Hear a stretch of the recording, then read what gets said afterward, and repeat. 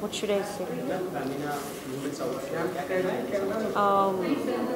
Femina women's award मुझे लगता है um, हर और जो दूसरे अवार्ड्स हैं वुमेंस अवार्ड्स एंड दूसरे भी हैं ये बहुत ज़रूरी होते हैं क्योंकि uh, एक बहुत डिफ़िकल्ट जर्नी होती है जिसमें सालों साल लग जाते हैं और ये इंडिविजुअल्स हैं जो कुछ अचीव करते हैं तो उनको पहचानना मुझे लगता है बहुत ज़रूरी होता है so,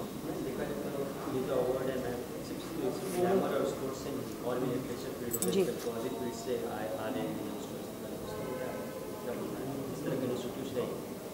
नहीं ऐसे ही होना चाहिए ना सिर्फ़ ग्लैमर और ब्यूटी तो एक स्पेस नहीं है ना लाइफ में बहुत सारी अलग अलग फील्ड्स हैं और उन सबको रिकग्नाइज करना चाहिए। तब जाके ओवरऑल सोसाइटी में एक रिकग्निशन और फ़र्क पड़ता है। Thank you thank you